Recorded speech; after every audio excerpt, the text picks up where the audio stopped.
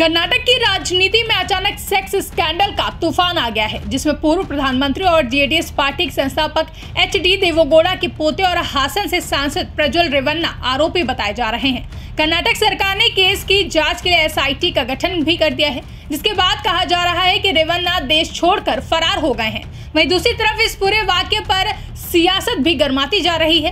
कांग्रेस ने बीते कल इसे लेकर प्रदर्शन किया तो वहीं आज कर्नाटक की महिला एवं बाल विकास मंत्री लक्ष्मी हेवालकर ने कहा कि जानकारी होने के बावजूद अमित शाह, जेपी नड्डा और पीएम मोदी ने जेडीएस से गठबंधन बनाया हमारे सीएम ने एक एसआईटी बनाई है, लेकिन मैं सिर्फ़ यह जानना चाहती हूँ कि एनसीडब्ल्यू प्रमुख रेखा शर्मा कहाँ हैं। इसके साथ ही उन्होंने बीजेपी को भी निशाने पर लेते हुए कहा कि जेपी नड्डा कहाँ हैं। वह कुछ क्यों नहीं कह रहे हैं। और मैं जानना चाहती हूँ कि भाजपा जेडीएस के साथ गठबंधन में रहेगी या फिर नहीं? ये जो प्रज्वल रेवन्ना, हमारी भारत देश का एक सांसद है, हासन हासन से चुनाव लड़े हैं जेडीएस पक्ष से। आज मैं इतना ही पूछना चाहती हूँ, एनडीए अलायंस है जेडीएस और ये जो घटना घड़ी है, वो पहले ही हाँ जो प्रज्वल रेवन्ना है, पहले ही ऐसा आदमी है। ये महिलाओं के साथ बहुत बद, बद, मतलब बहुत ही बेहुदा हरकत किया है। ऐसा मतलब चरित्र ऐसा है करके पहले ही अमित शाह जी को और पहले ही कर्नाटक के जो बीजेपी के अध्यक्ष है विजेंद्र को पता था।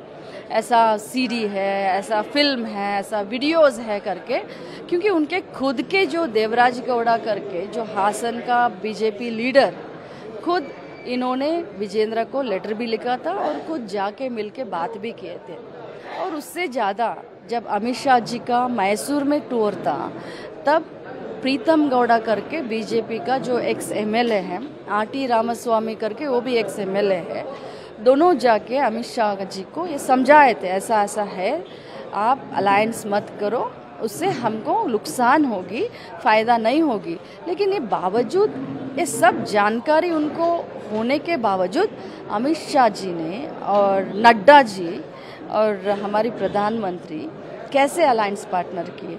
हम यही पूछना चाहते हैं, कहाँ गया आपका नारी शक्ति? कहाँ गया आपका नारी का सम्मान? बेटी बचाओ, बेटी पढ़ाओ, एक जगह बोलते हो, अब दूसरी जगह आपका अलायन पार्टनर 300 लोगों के साथ है या 2000 लोगों के साथ है? आज सोशल मीडिया में इतना वायरल हो रहे हैं। इतना बेहुदा हरकत किया है। मैं कहती हूँ, ये जितने भी महिलाओं के साथ ये जो अन्याय किया है प्रज्वल रेवन्ना, जो आपके बगल में बैठता है सांसद होके, मैं ये बोलती हूँ, ये this is like you know जीते जाते मरे जैसा। वो महिलाएँ अब क्या करें? बता दें, प्रज्वल रेवन्ना को लेकर लगातार सियासी पारा चढ़ता जा रहा है। इस घटनाक्रम पर जहाँ एक तरफ़ विपक्षी दल सवाल उठा रहे हैं तो वहीं दूसरी तरफ़ बीजेपी ने मौन धारण कर रखा है। अब देखना अहम होगा कि बीजेपी इस पर क्या कुछ रुख करती है।